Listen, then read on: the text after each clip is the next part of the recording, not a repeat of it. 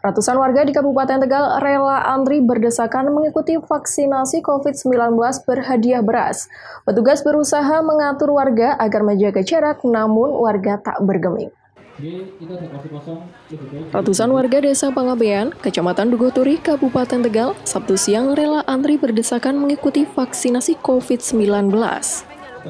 Panitia membagikan beras 2,5 kg per orang agar warga antusias mengikuti vaksinasi. Sejumlah warga mengaku antri dari pagi karena pendaftaran hanya dibatasi 350 orang. Mereka mengaku senang mendapatkan beras gratis usai divaksin. Namun, ada juga warga yang suka rela mengikuti vaksin untuk menambah kekebalan tubuh. Ikut vaksin karena apa? Emang harus mengikuti ya, ya dari instansi. 29. Sebelumnya sudah mencoba daftar Sudah dari sekolah. Cuman ini yang kedua di sini yang lebih dekat.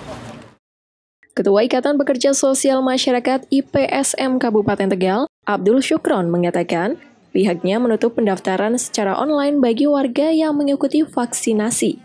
Karena agar tidak terjadi kerumunan, namun yang melakukan pendaftaran justru melebihi target 350 orang. Setelah vaksin kita fasilitasi ada masker, ada uh, beras, kemudian snack, sembako ya, sembako. Alhamdulillah antusiasnya sangat banyak sekali justru malah tadi yang via off offline itu banyak sekali via online malah kemarin sudah kita tutup hampir kalau kita buka seterusnya hampir 700 kemarin Vaksinasi COVID-19 secara massal serupa rencananya juga akan dilakukan di desa-desa lain untuk memenuhi target pencapaian vaksinasi di Kabupaten Tegal. Yuli Herdianto, Kompas TV, Tegal.